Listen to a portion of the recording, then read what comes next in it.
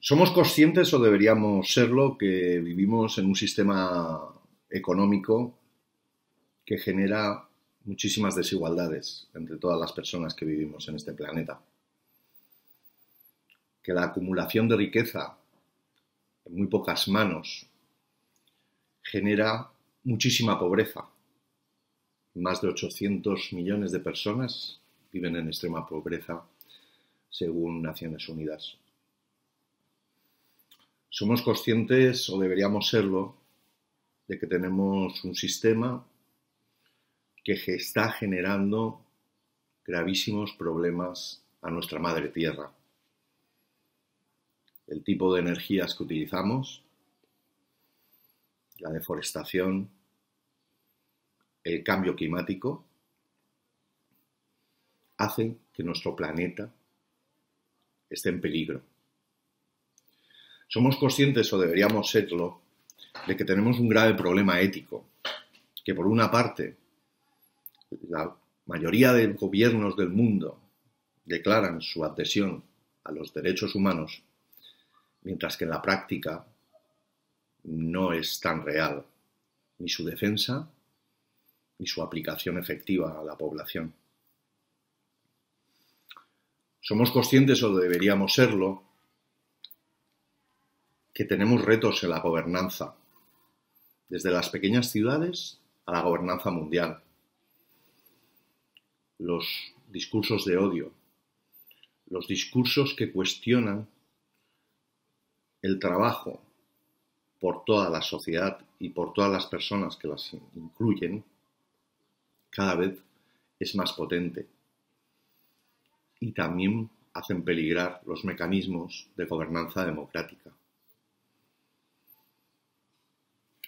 somos conscientes, o deberíamos serlo, que nuestras sociedades, nuestra sociedad, la de nuestra ciudad, la de nuestra comunidad autónoma, la de nuestro país, cada vez tiene más difícil el poder establecer mecanismos de participación efectiva para conseguir medidas que favorezcan la inclusión social de todas las personas.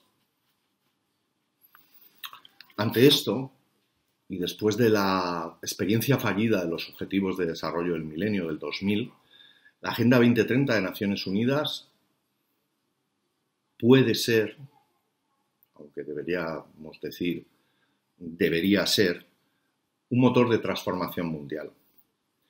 Si bien es cierto que estamos en una de las épocas donde más se cuestionan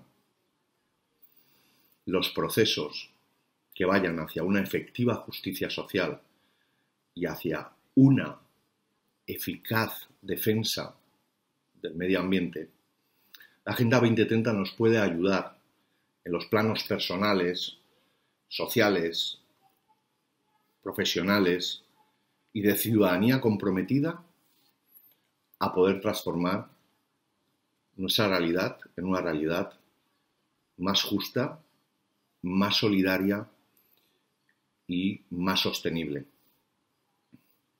Es importante una perspectiva crítica, pero también es una necesidad que podamos incluir, integrar esos 17 objetivos de desarrollo sostenible en nuestra práctica profesional, en nuestra práctica en la docencia, y así entre todas y todos poder contribuir a que dentro de unos años hayamos podido parar esa gran tendencia que los jóvenes nos están avisando, que les podamos devolver el futuro que ellos están diciendo que les estamos arrebatando.